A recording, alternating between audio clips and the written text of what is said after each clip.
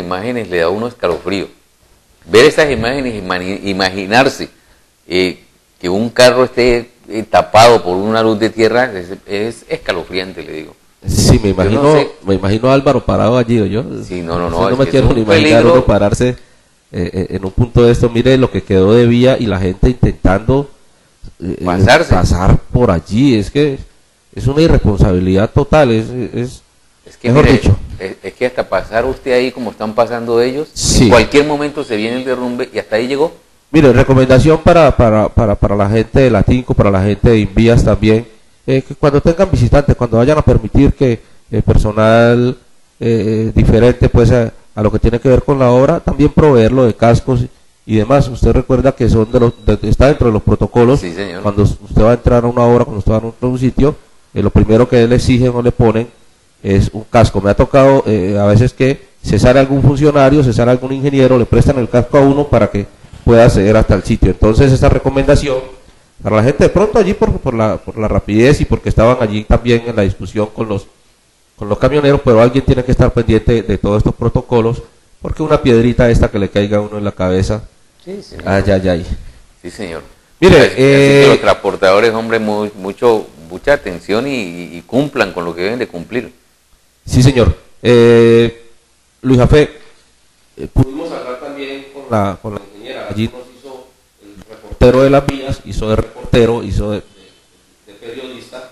El señor Walter Arango entrevistó a la ingeniera. Rocío del Pilar Ciro. Sí, señor, que es la directora de obra de- en el proyecto transversal Quito Medellín, señor. dos, tres. Nombre y cargo. Rocío del Pilar Ciro, directora de obra del proyecto Transversal Quibdó Medellín, sector 18 al 12. Bueno, doctora, díganos eh, qué es lo que está pasando en este sector, eh, porque hay muchos comentarios de fechas inciertas de la apertura de la vía. O sea que queremos saber en viva voz para que la comunidad sepa eh, cuándo, un promedio de qué tiempo se va a abrir la vía y cuáles son los, eh, las problemáticas que hay en el momento de que se habilite la vía o qué fue lo que pasó. Por favor, háganos un resumen. Bueno, nosotros eh, venimos haciendo la ampliación de la vía y han habido diferentes cortes que hemos tenido problemas debido a que los taludes de esta zona prácticamente han sido bolsas de agua. En enero fue una- un tiempo de mucho verano que tuvimos y el invierno llegó eh, enfurecido en febrero. Esto es un talud que era, se veía roca, empezó a desprenderse, empezó a desprenderse a finales de enero. Decíamos que como el año pasado llovió tanto, estaba saturada la montaña, al sentir mucho sol van saliendo los agrietamientos. Eh, empezó a salirse, empezó a salirse y nosotros pues a tratar de manejarlo. El día del 11 eh, se vino la luz, donde estábamos limpiando un derrumbe muy pequeño que había y se vino la luz que ustedes ven en este momento aquí en la zona. Desafortunadamente, eh, para nosotros fue una gran sorpresa porque no nos imaginamos el comportamiento porque en la parte superior, lo que la alcanzamos a observar, no había eh, ninguna grieta posible.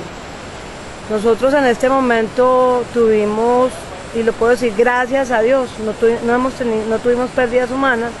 Nuestro operador eh, saltó de la máquina, la máquina está en este momento en el río.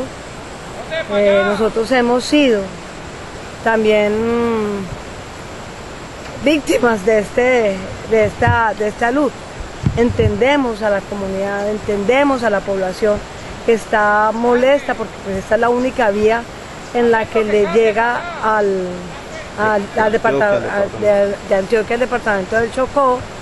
Eh, entendemos los señores camioneros que pues de esto viven, que más que nosotros estamos afanados en poder habilitarles el paso.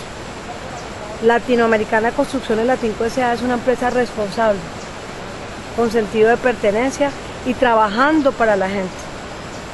Nosotros lo que queremos es dar seguridad y lo que le pedimos a los señores camioneros es que nos tengan un poquito de paciencia. Si nosotros trabajamos a presión y que todos los días tenemos que abrir una hora, nos la vamos a pasar abriendo la vía y no vamos a poder trabajar en el derrumbe como debe ser. o lo vamos a dejar propenso a que en algún momento vuelva y pase, vuelva y pase y vuelva y pase. La idea es hacer un trabajo en este momento que podamos, mientras ah, organizamos el tema de geotecnia, lo, lo podamos tener en reposo. Calculamos que nosotros estamos dando vía el sábado eh, en las horas de la tarde, siempre y cuando lo he dicho, el clima me lo permita, porque no puedo poner en riesgo más la gente nuestra arreglando estos taludes. Yo no puedo montar una máquina ni una persona en un momento dado a cortar en, tiempo de lluvia. No puedo poner volquetas, no nos rinde el trabajo, en fin.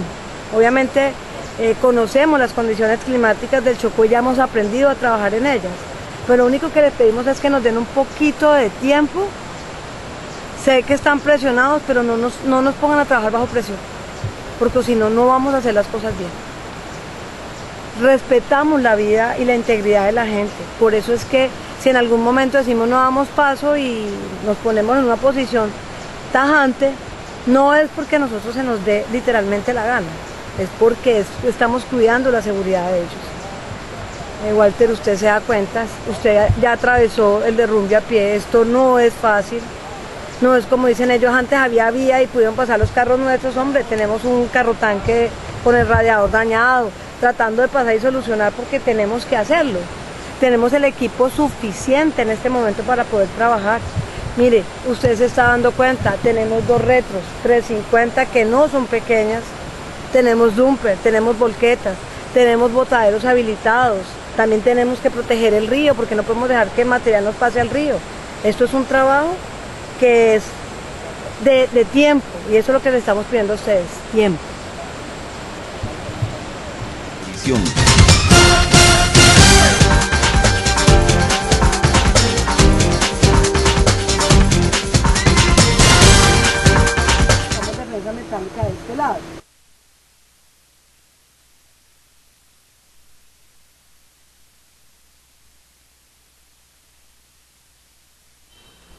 8 de la mañana, 19 minutos, eh, Pedro. Eh, ya con lo que vimos, con lo que ha dicho la ingeniera, con lo que ha dicho Walter Arango, con las imágenes que hemos visto, yo creo que está por demás de...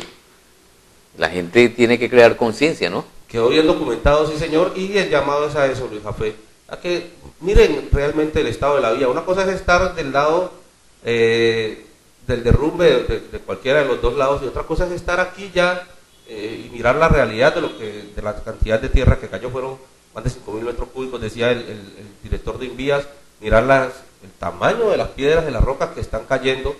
Entonces eh, tomar conciencia no apresurar los trabajos no meter tanta presión a los ingenieros dejar que los ingenieros que es la persona eh, capacitada de saber cómo puede retirar no obligan a que la gente tenga que eh, montarse allá en, esas retros, miren lo que pasó, eh, hay una retro en el agua en este momento, afortunadamente el operario o el operador alcanzó a saltar. Entonces, ¿qué tal que, mire, mire esta imagen, eh, una imagen bastante fuerte, solo pensar que había un operario desmontado y que alcanzó, gracias a Dios, a tirarse, porque si no, o le cae la máquina, la corriente del río, una piedra, en fin. Entonces, pongámonos en el lugar de todos estos operadores y no creamos que es que esto es algo de capricho y que porque dos o tres camioneros quieren que se deje ahora la vía, hay que hacer peripecias para darles paso, señor. Pero, eh, Pedro, la responsabilidad no es solamente del Estado ni de los contratistas, la responsabilidad también es nuestra, nuestra responsabilidad, responsabilidad social frente a todo esto que está sucediendo con el tema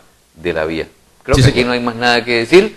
Eh, quien quiera saltarse esa resolución de cierre, quien quiera saltarse eh, los cierres que están habiendo en la, en, la, en la, carretera y les sucede algo, ya es problema de ellos y de su familia decirlo así, cruda y claramente, eh, Pedro. Porque hemos mucho lo que hemos insistido con el director de Invías, con los contratistas, con el Estado, con lo que hace Walter Arango diariamente, eh, y la gente no entiende. Entonces ya quien quiera tomar su decisión y le pase algo, como dicen crudamente, dicen algunas personas, se entierra y ya, Sí, así, así de sencillo. 8 de la mañana, 21 minutos, vamos a un pequeño corte, eh, Álvaro, y ya venimos con temas políticos aquí.